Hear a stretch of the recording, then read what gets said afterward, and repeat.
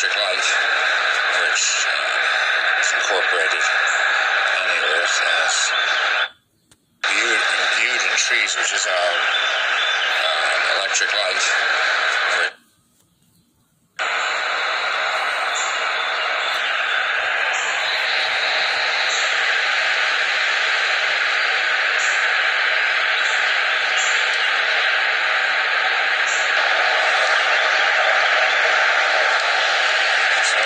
Do is assist the process uh, already imbued, imbued in trees, which is our uh, electric light, which um, is incorporated on the earth as um, a natural uh, part, like the sun, electric light. Of course, it's in balancing with the questions of uh, what a skyline is composed of. You name it, it goes on and on.